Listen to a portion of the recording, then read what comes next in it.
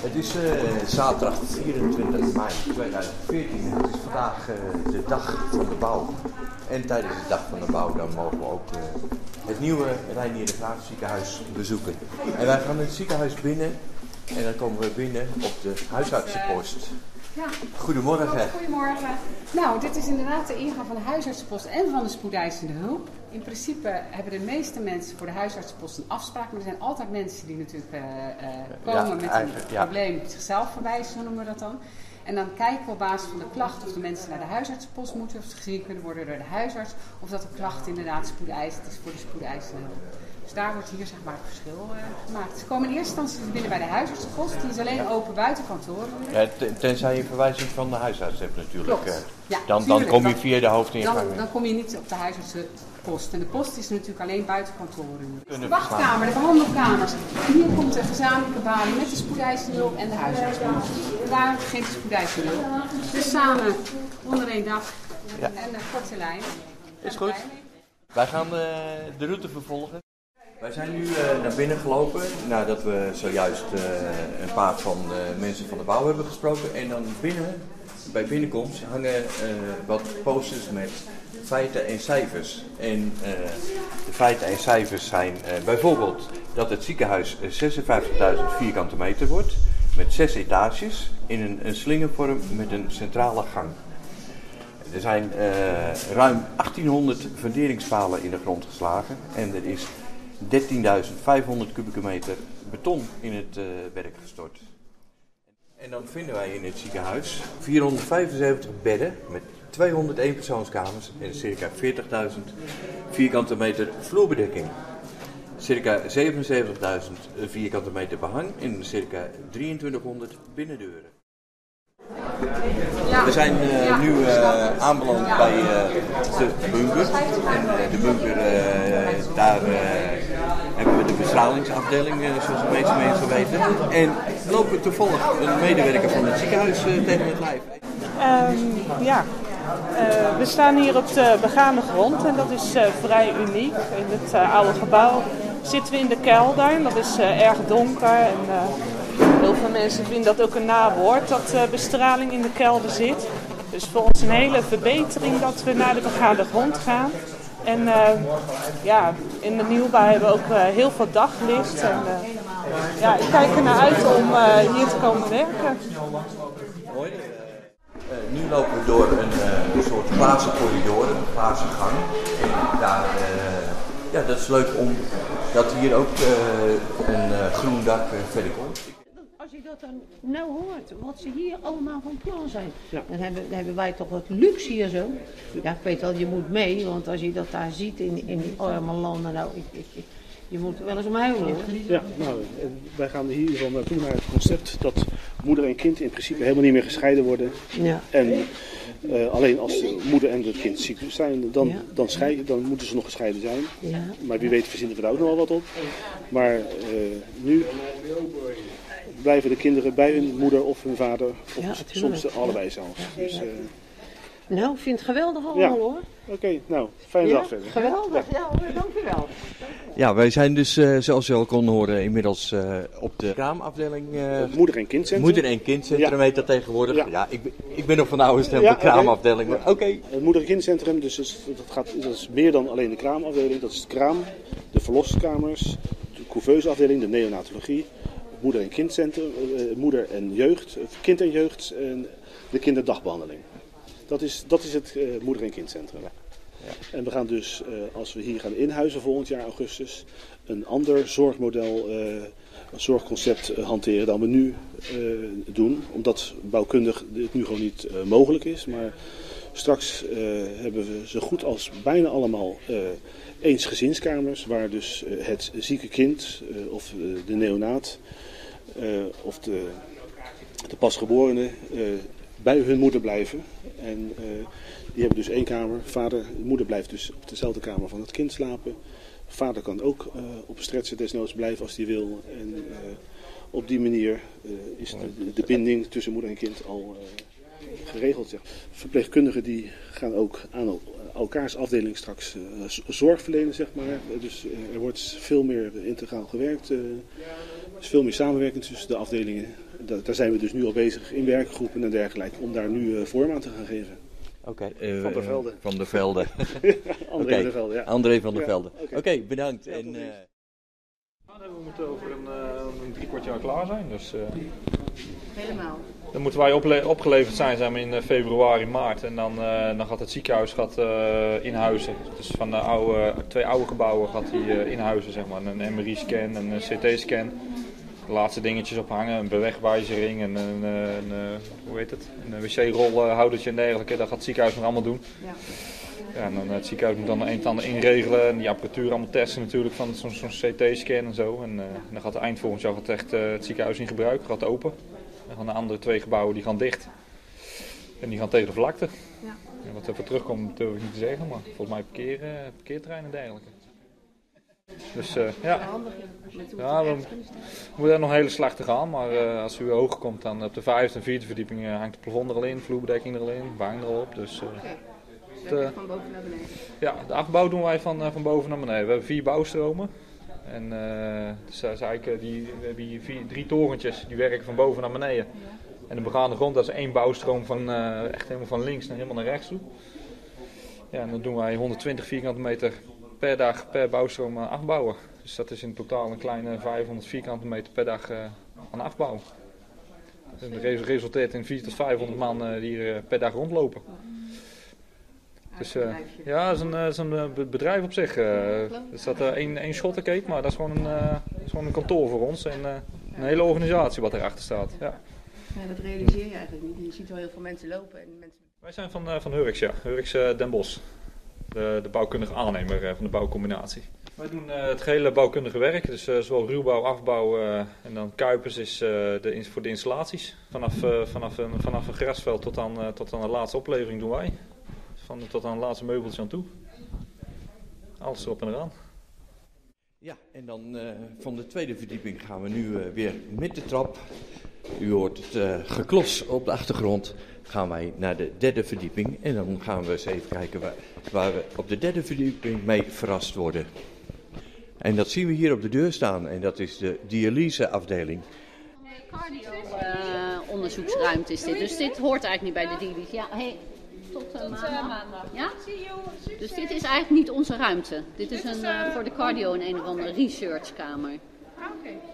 En dan is dit de waterbehandeling. Want zoals we net al zeiden, kan je niet zomaar met kraanwater dialyseren. Dat moet eh, aan een aantal voorwaarden voldoen. Dus het wordt onthard. Er zit... eh, Dat is voor de...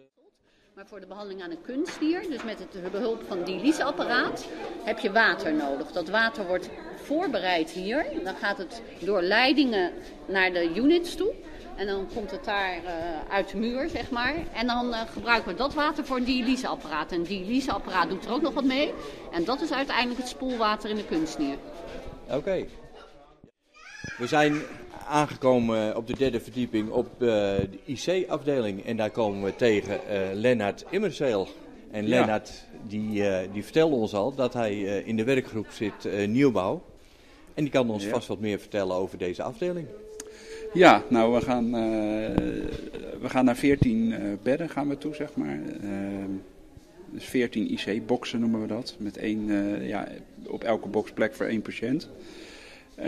De afdeling loopt in een, in een L-vorm. Dus nou ja, dat, ja, dat kunnen ze niet zien. Maar er zijn drie balies waarvoor we de, centrale bewaking doen. En we hebben hier dan zes boxen met een sluis. Daar kunnen mensen in eh, met, een, eh, met een ernstige bacterie of die in isolatie moeten. En er zijn acht boxen waar je, waar je dat niet hebt, maar wel ook gewoon eenpersoonskamers. Dus ja, en dan liggen aan de buitenkant eh, liggen de, de patiëntenkamers. En een beetje aan de binnenkant daar liggen alle ruimtes voor de artsen, de verpleging. ja, de, mensen die op de IC gelegen hebben, die gaan er een stuk op vooruit als... de patiënten gaan er een stuk op vooruit als we hierheen eh, komen. Meer ruimte, meer licht, mooie grote ramen. Dus wij zijn er eh, erg blij mee. Dat hoop ik het eh patiënt ook. En We lopen nu door de, de gang, de loopbrug, op de derde verdieping. En, eh, dan zien wij links en rechts van ons allemaal glazen daken. En die zijn van de eh, centrale hal die, eh, die hier beneden is. Waar u dus eh, normaal als bezoek of via een doktersverwijzing binnenkomt. En vandaag staat daar bij de hoofdingang staat er een hijskraan. En dan kunnen mensen vanuit de hijskraan ook helemaal over het ziekenhuis en een groot stuk van Delft. Wat zien we hier in de kamer? Dit, dit lijkt wel een, een Hilton-kamer. Lekker uh, eenpersoonskamer. Of lekker, maar je kan beter thuis wezen natuurlijk. Maar als je dan toch in het ziekenhuis bent, dan uh, wil je wel uh, eigenlijk veel privacy hebben. En dat, dat gaat nu gebeuren, denk ik, in het nieuwe ziekenhuis. Ja, in het ziekenhuis zijn 201 persoonskamers en 4 persoonskamers. En geen 2 persoons meer. Dus het is of één of vier? Eén of vier. Er is geen klassenverpleger meer, uh, net zoals vroeger. Uh, als iemand het nodig heeft, uh, omdat hij gewoon te ziek is om op een vier persoonskamer te zitten, dan liggen ze hier en als ze in de war zijn. Ja, nou, het ziet er erg goed uit, het ziekenhuis, vind ik. Ja, ja. en de kleine raampjes aan de buitenkant uh, vallen binnen erg mee. Want het licht vind ik erg meevallen. En dan gaan we nu weer de trap op naar de vierde verdieping. En als ik het goed begrepen heb, dan zullen we op de vierde verdieping de OK-ruimtes, de operatiekamers, tegenkomen. Waarover u zo meteen wat meer gaat vertellen, want die moeten we toch eerst wel even vinden. Dit is nog uh, afdeling dagbehandeling en, uh, van het snijdende uh, het eerste gedeelte is de endoscopiekamers, de, de, POK zit daar ook, de polyklinische operatiekamers, zeg maar, waarvan onze patiënten dus ook gebruik gaan maken. En die komen hier dan dus voor de verdere zorg. En voor de rest hebben we hier 10 eenpersoonskamers.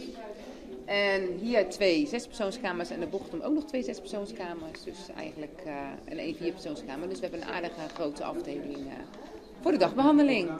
In principe zijn we s'morgens uh, om zeven gaan we open tot s'avonds acht uur. Dan sluiten we. Ja.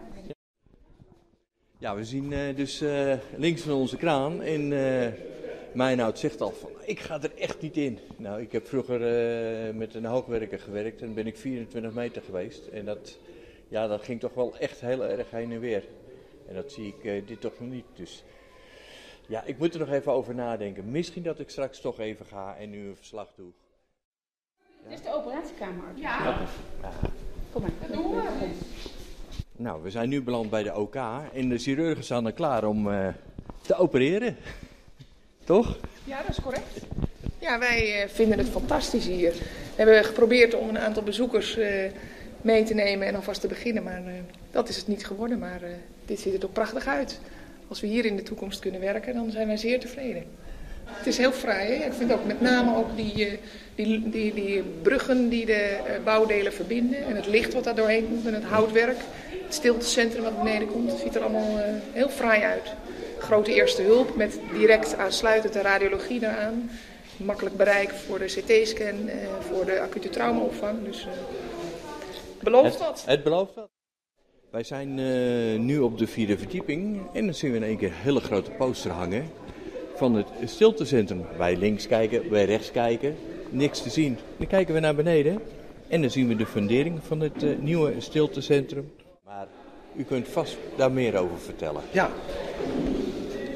we kijken inderdaad hier um, vanaf de vierde verdieping recht op het stiltecentrum beneden, um, wat nog in aanbouw is. Wij uh, mogen ons verheugen op een mooi toekomstig stiltecentrum wat uh, ongeveer 45 vierkante meter groot wordt. Wat de algemene stilteruimte betreft. En dan een kleinere gebedsruimte voor moslims. De interieur, hoe het ongeveer uit gaat zien, is hier al afgebeeld middels die posters. Zoals je ook kunt zien op die posters heeft het een vorm van een krul of van een, een arm. Iets waar je je geborgen in weet. Wat warmte moet uitstralen, veiligheid.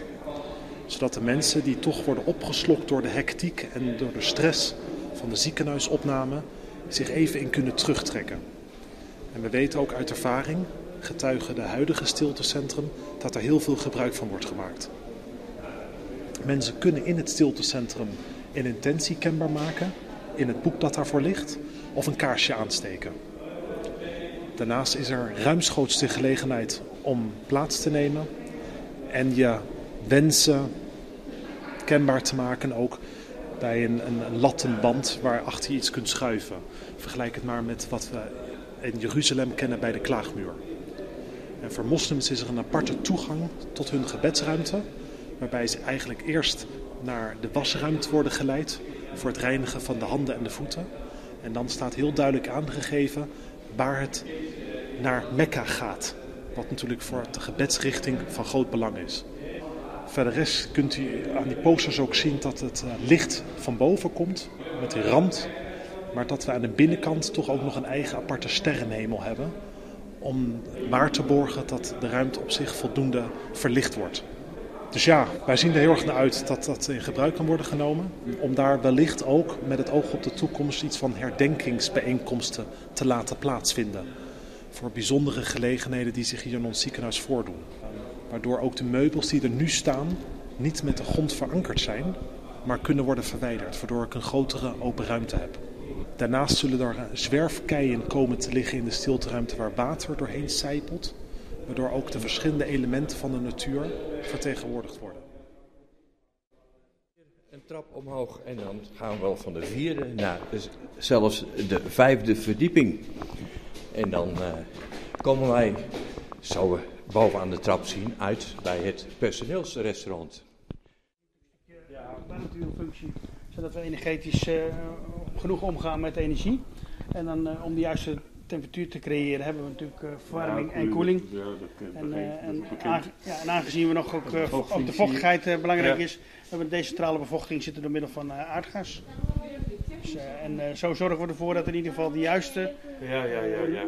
ook luchthoeveelheid van de juiste condities het gebouw ingaat.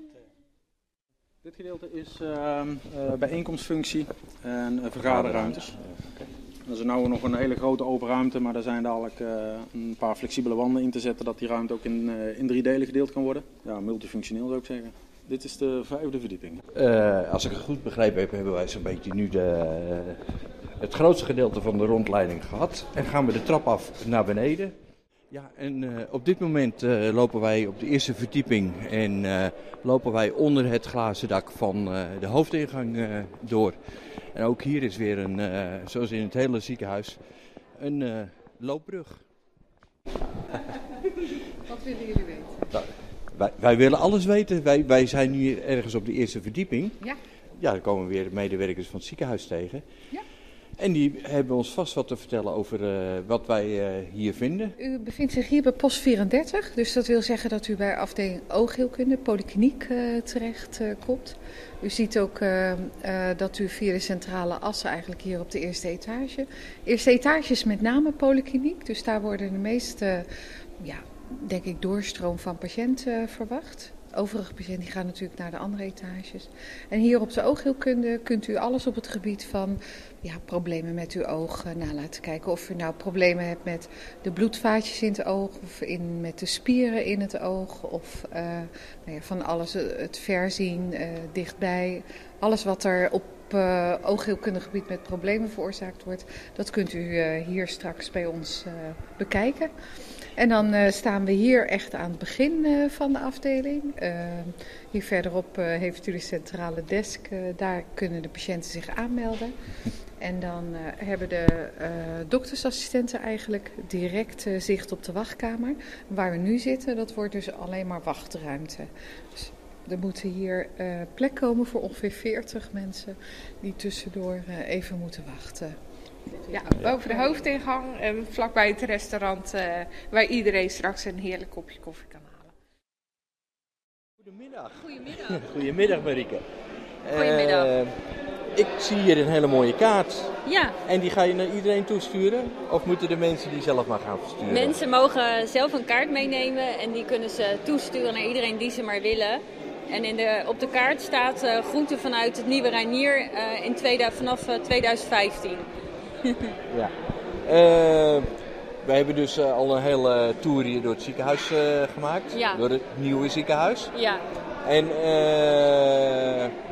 ja, jij bent van de afdeling communicatie. Klopt. Jij hebt dit mede georganiseerd, neem ik aan. Klopt. En wat zijn jouw ervaringen? Ja, ik heb tot nu toe ik heb wat mensen ondervraagd vanochtend en ook vanmiddag. Van nou, wat vond u van de route? En uh, ja, heeft u uh, veel nieuwe dingen geleerd over het ziekenhuis?